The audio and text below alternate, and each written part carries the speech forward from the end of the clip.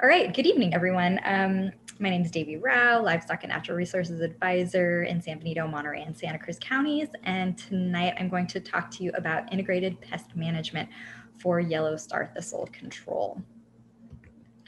And I want to point out that just about everything that I'm going to talk about tonight um, comes from this book called Weed Control in Natural Areas in the Western United States.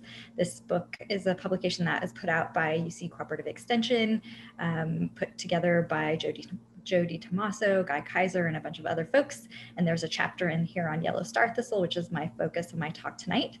Every weed in this book, you can actually get the chapter or the section online if you just go to Google and type in the species. So type in yellow star thistle and then UC weed report, you'll get the chapter um, for free online. So that's always an option as well.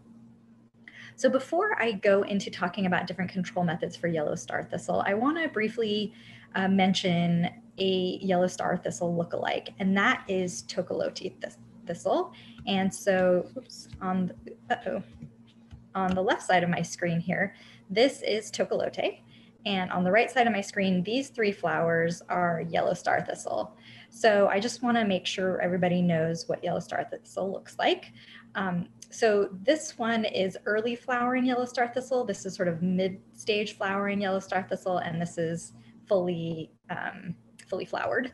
And so these are all yellow star thistle. And the thing that really you want to pay attention to is, of course, the yellow flowers, but also these strong, straight, stiff yellow spines that come out from the head under the flower. Um, similarly has the yellow flowers and it has this bulbous um, portion under the flower head, but the spines coming off of the Tocolote thistle are not straight, they're curved slightly downward, and they're not yellow. They're sort of, I don't know what color to call that, maybe a brownish reddish color to white. Um, and they're not as stiff and hard as the spines under the yellow star thistle. So, so tonight we are going to be talking about yellow star thistle, so these guys. So there are multiple different options for controlling yellow star thistle. And tonight I'm gonna talk about herbicide, grazing, mowing, and burning. So first, I will talk about, um, whoops, I was trying to get rid of the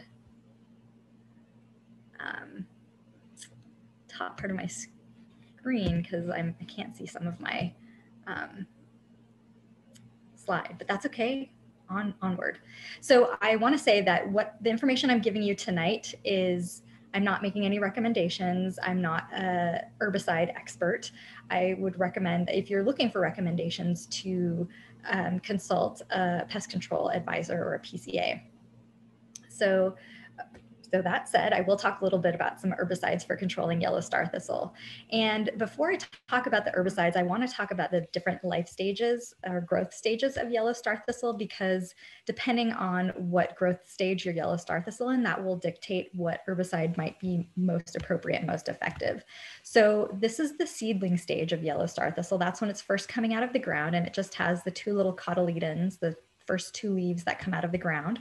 So that's what this seedling stage looks like for yellow star thistle. Then from there, it goes into the rosette stage. And so this is the rosette stage here. And the basically you get several leaves coming out of the ground, but the leaves are laying flat against the ground surface. And then from there, it goes to the bolting stage, which is what you see on the picture on the right. So that's when a stem comes out of the center of the rosette and it, the stem kind of bolts out and that's considered the bolting stage. So for uh, aminopyralid or milestone, uh, the book says is one of the most effective herbicides to control yellow star thistle. And the time to spray with milestone is from the seedling stage to the mid rosette stage. So if you see some your yellow star thistle in this stage to this stage, uh, milestone uh, is a good option. Clopyralid or Transline also gives excellent control of yellow star thistle. And the best timing to spray if you're using Transline is to spray in the rosette stage, the later rosette stage and before bolting. So you, you don't wanna wait till it gets to the bolting stage if you're gonna use Transline.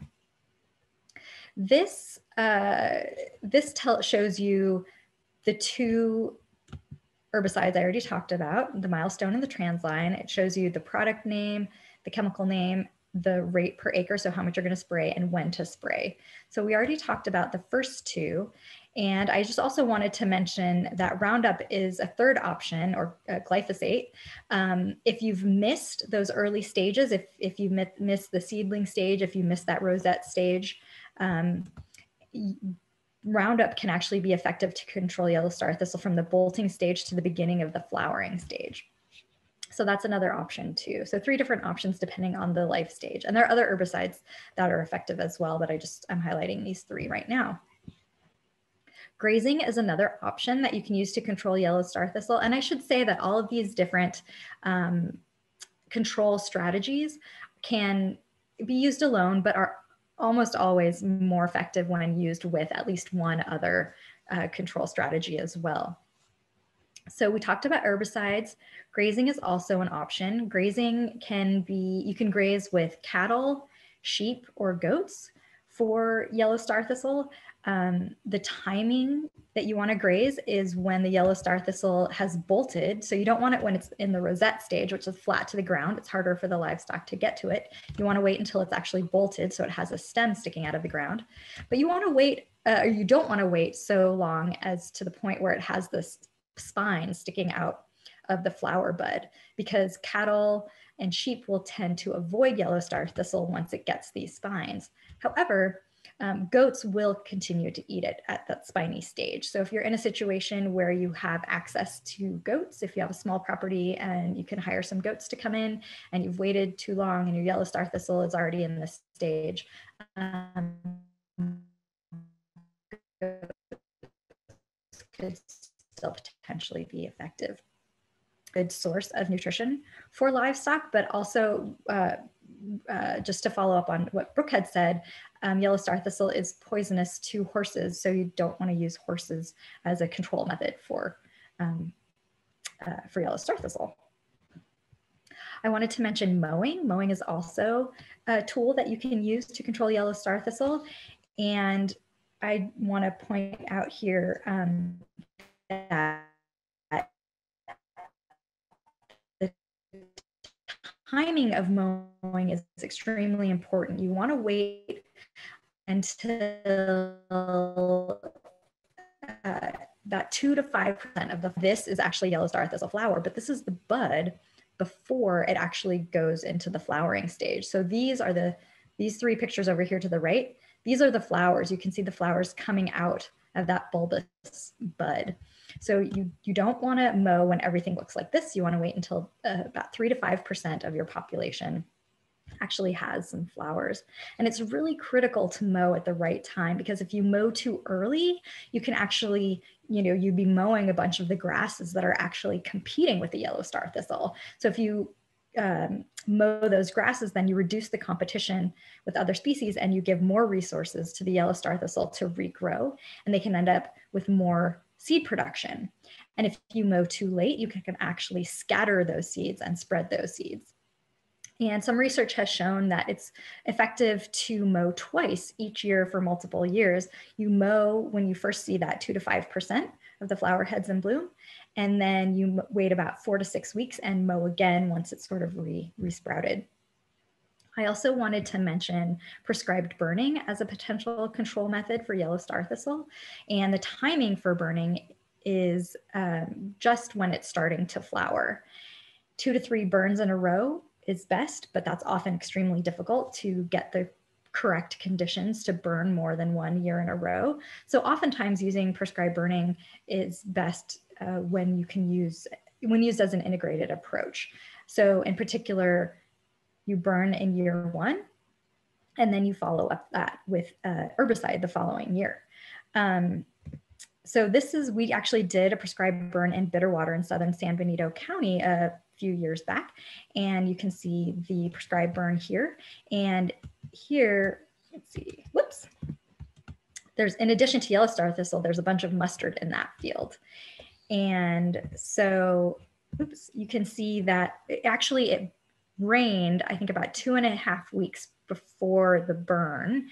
And timing wise, it was a good time for the burn. The yellow star thistle had headed out, it was starting to flower. However, because the moisture conditions weren't appropriate, because there were so, and also because the plants, we had so much of this green uh, mustard in the field, it was really difficult to get that kill on the yellow star thistle. So here's what a picture of what that field looked like after the prescribed burn. You can see um, some of the field burned nicely, but there's still a lot of green, yellow star thistle and mustard in that field. So it wasn't the most effective burn to control yellow star thistle. But we were using this as a training burn, so we had other objectives as well. We're trying to train the community on how to do prescribed burning. So we followed up that burn with an herbicide treatment. We used capstone and we consulted with a, a, a, a PCA. Um, and so they recommended capstone, which is a combination of Garlon and milestone. And we sprayed three quarts per acre with 1% MSO. And the reason we used capstone is because you can see here you saw in the other picture, there's that, in addition to yellow star, there, there's the um, summer mustard. So capstone is effective because it's a combination of both milestone and garlon. The milestone is effective on the yellow star thistle and the garlon is effective on the summer mustard. So this is what the field looked like after the burn and then after the herbicide treatment. You can see um, that there's not uh, much, if any, I can't see in this picture of the yellow star thistle or the summer mustard. And so this is just another um, example. I'm showing these two arrows so we can compare this picture with the next picture. So here's, you know, these two trees. So if you look from here to here, you can see all of this yellow stuff. So the summer mustard and yellow star thistle and various other weeds. And then after the burn and herbicide treatment, this is roughly the same area taken from a different vantage point. And again, you can see that it's mostly just grass. Um, so that was all I wanted to share on that. Using uh, multiple treatment options for yellow star thistle can be effective. It's really important to do more than one year of treatment to control yellow star thistle. The seeds last in the seed bank for about three to five years. So if you can do um, three to five years at least of control treatment, you're gonna get the best control of your yellow star thistle. And with that, I will wrap it up.